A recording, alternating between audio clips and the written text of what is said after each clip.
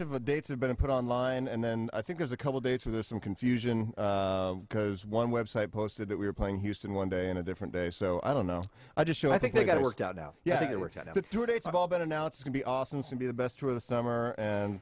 And you're going out with a bunch of different bands, right? I know Fall Out Boy for part of it. Yeah, Weezer. We got Taking Back Sunday. We got Chester French. We got Asher Roth. Panic at the Disco. Weezer's played with you on uh, at Irvine at- on September 17th. Oh, All, All American, American Rejects. Rejects? Yeah, that's right. You can say it. Well, I don't want you guys are You have a microphone. You guys, the way you guys all riff, Mark, you've been riffing with these guys great, and I don't want to like come in like it's goss and Just say, I know, I know, I'm here, but I just want to sit back and watch you guys. It's Okay. great. Uh, as a matter of fact, uh, Real Tom, I'm glad you brought that up because we haven't heard from Fake Tom yet today, and I wonder what his thoughts are on the Blink 182 reunion. Fake Tom? Fake Tom. Come on, have some balls. Do Oh, it. is he? You do it all the time when he's not here. We're excited about the tour. It's gonna be great to play with these guys again. there you go. Uh, is that Tom or is that the woman from All in the Family? It's kind of a little bit of Edith Bunker, you're right. you a know mixture what? of both. Hey, I just gotta say, I was driving uh, d- down San Diego, and on the morning show there, the guy was doing the same thing, making fun of me, but singing like lines about some story. It's always the same. some like there's always the same whiny thing. You know what? But I remember that uh, I was uh, the one selling uh, millions of records by Yeah. sounding that way. That's what I remember mostly. That's a good point. You win. Y- You win, exactly. All right, let's squeeze in a couple calls in our remaining minutes with Blink 182. Uh, 1 800 520 1067. If you can hear us, you can call in. Let's start with Andrew. He is on line seven on The Kevin and Bean Show. Hey, Andrew, you're on with Blink 182. Go ahead. Hey uh, guys, I was wondering after you know not playing together for like four years, how's it been writing new music? Has it come easy, or are you finding it kind of difficult? You are writing new music, right? Yes, yeah, we are. Okay. We sure are. Is that difficult or easy? No, It's I think pretty easy, actually. I That's don't know. great. Was it always easy? It's Well- easy-ish. E- Every song's different. Some songs come real easy, and some songs we got to work on and kind of take an idea and tear it back down and build it up a different way. And you know, we- we're artists. We're tortured. It's funny the the first song I think that we really got into sounds exactly where the last record like kind of broke off. Like it fits in exactly uh, where that was, which is which is odd because we've all done so many different types of musical projects since. But Mm-hmm. um, but it, no, it's refreshing. And I and Mark and I have always we kind of grew up listening to the same kind of music. Right. You know, I mean, Mark's listened to a lot more self-help stuff than I have. but uh, but no, but uh, so Don't it- laugh. it's- Don't yeah. you laugh. Oh, that was serious. Sorry. Uh, new album. New album. Do you have any idea when?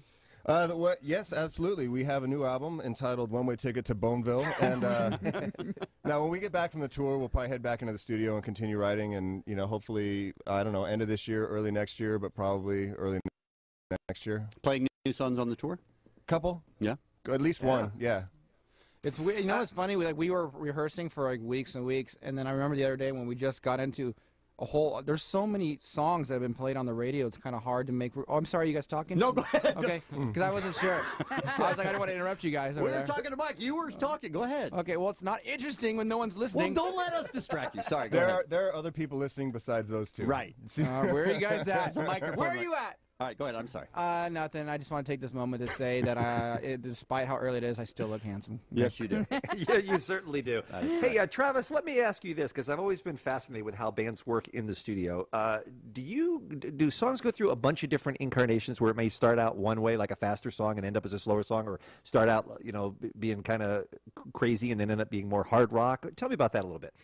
Yeah, I mean, like our last record, we had, uh, gosh, what are those two songs called that were like basically the same song, and then I played drum parts yeah. for it Oh, fast. and all of this and uh, Easy Target. Yeah, that was basically the same song, and then I'd just go in there and uh, and kind of play like two different versions of it, like a really rock, like aggressive version of it, and then a really mellow version. And sometimes those become like you know two different songs, or you know it, it all changes. It's all it, it all depends on the song and, and how we're feeling that day. You know. I have a clip of one of your new songs. If you don't mind, I'd like to play it. Okay. All right.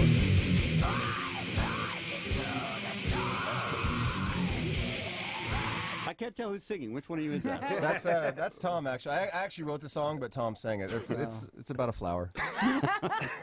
it does pick up where you left off. All right, uh, e- email question from Arnie. Hey, I met Tom yesterday when I delivered food to him. I wanted to know if he found his lost dog. What's that all about? Oh my God! Wow. You know what? This is. That's how lazy Tom is. He has to have food delivered, just trucked into his You know what, house. Mark? You've never ever been into bioidentical hormone therapy like I have. Anti- and uh, What happened with your dog?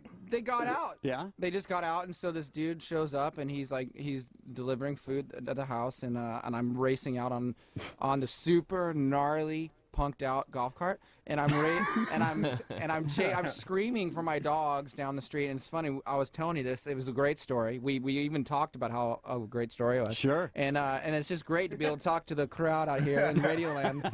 But seriously, Tom's dogs are like master. They should be on special forces Dude. units because it, literally his his uh, German Shepherd can climb straight up He a, can. a flat wall. Nice. This is the thing. They have those shock collars. You know how I know they get out? You smell like burnt dogs.